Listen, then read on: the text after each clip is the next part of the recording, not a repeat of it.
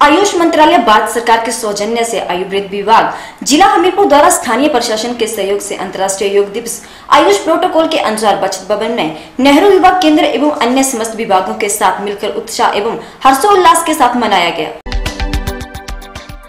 आयुष मंत्रालय भारत सरकार के सौजन्य से आयुर्वेद विभाग, जिला हमीरपुर द्वारा स्थानीय प्रशासन के सहयोग से पांचवा अंतर्राष्ट्रीय योग दिवस।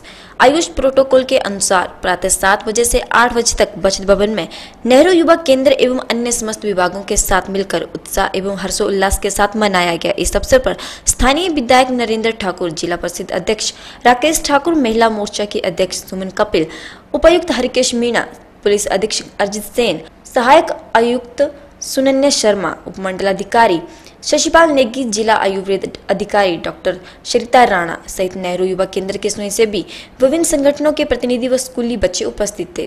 समारोह का शुभारंभ स्थानीय विधायक नरेंद्र ठाकुर द्वारा दीप प्रज्वलित कर किया गया इस अवसर पर नरेंद्र ठाकुर ने कहा कि योग हमारी प्राचीन जीवन शैली का अभिन्न अंग रहा है। हम सभी को योग क्रियाओं के माध्यम से एक स्वस्थ जीवन शैली अपनानी चाहिए। उन्होंने सभी उपस्थित लोगों को आह्वान किया कि वे योग को अपनाने के साथ साथ अपने आसपास के लोगों को भी इसके बारे में प्रोत्साहित करें। योग विशेषज्ञ डॉक्टर कमलेश पटियाल मधु मुकेश एवं दीप्ति सेठी ने योग समारोह में उपस्थित स्थानीय लोगों, विभिन्न विभागों के अधिकारियों व कर्मचारियों के साथ साथ युवाओं को योगाभ्यास करवाया। कार्यक्रम के अंत में सभी प्रतिभागियों को आयुर्वेद औषधि पेय वितरित किए गए।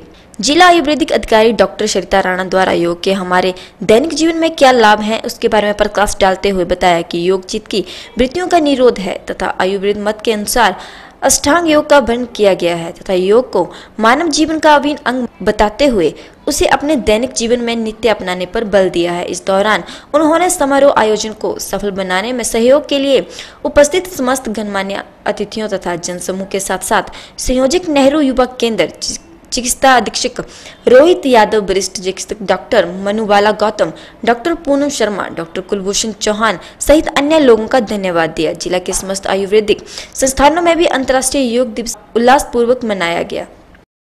वक्त तो चलक छोटे से ब्रेक, आइए मिलते हैं ब्रेक के बाद।